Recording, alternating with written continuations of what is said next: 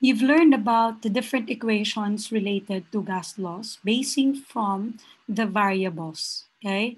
So I believe that there were a lot of information that, that you've learned and it's loaded on your part. So we, your science teachers, would like to provide you this mnemonic strategy or the strategy, a strategy that will help you recall these equations. And of course, you can use this if you would like to push through science courses and you're going to have basic chemistry. Okay, so I hope that this will help. Always remember, even in your, if you're going to study, come up with your own mnemonics. Okay, this will help improve your memory of important information. And of course, it make use it's it's making use of letters, visual cues, okay, for you to recall.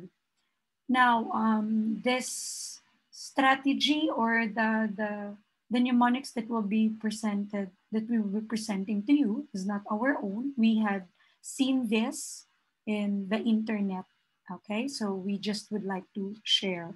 Now, let's start with um, how can you recall all those gas laws equations? Easy way to remember gas laws equations. So we will be using letters. So we have um, C, T, G, P, B, and V. So we will be putting words into these letters as your guide, okay? Can, oops, Can these guys possibly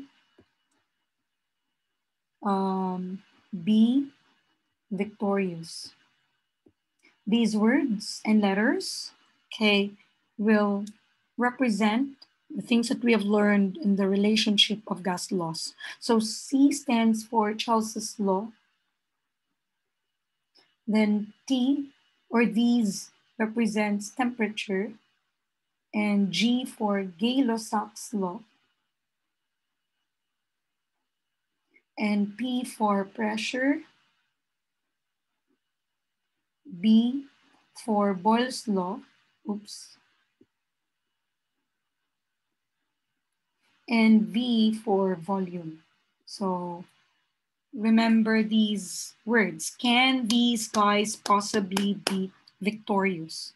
Okay, so we will be using a diagram here as to represent uh, the relationship as well, or the mathematical relationship. Okay, oops, is it? Now let me erase the thing first. Okay, one more.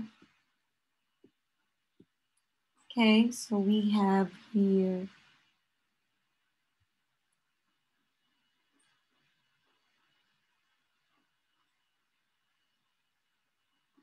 Okay, and then um, we will divide the inverted triangle into three parts. Okay, so we will use this underline, we will use a line. This line represents division. Okay, then we'll be using a vertical line. This will represent multiplication. Okay, then we will assign the letters. So we have um, C, can, these, guys possibly be victorious.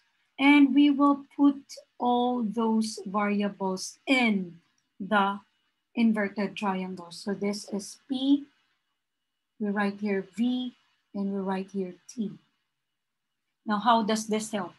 So B represents Boyle's law, and Boyle's law, it's an inverse relationship, okay? And you've learned the mathematical representation of that that's multiplying, that's multiplying P and V, right?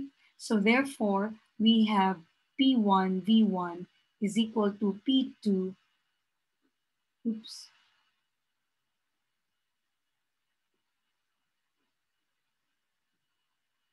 Let me clear that for a while. So we have P1, V1 is equal to P2, V2. Okay?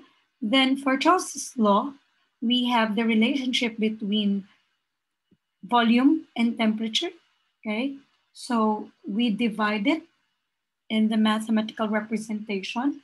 So we have here, Charles's law is volume 1, V1, T over T1 is equal to V2 over T2, okay?